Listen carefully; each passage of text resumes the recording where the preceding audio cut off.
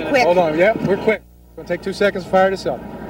Hold on. Speed, go. Your name, ma'am. Barbara Crowley, C R O W L E Y. NYU Medical Center. Okay, tell me what you know. All I know at this point is they're trying to establish an outdoor hospital facility like we've set up at Chelsea Piers, a triage, Like a triage. unit for the, the personnel that are attending to the scene, not to the injured in the scene. They can't get in to get any casualties out at this time. They don't know the extent of it at this point.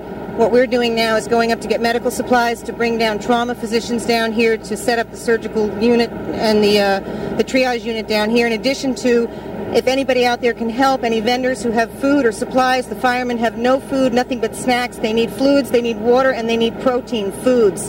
This is just the beginning of what they're facing. So we're and we need masks. We need TB masks. Holy shit! What is it? Just went down. What just went down? World Trade Seven. It did go down before. No, seven. Number seven. Oh my god!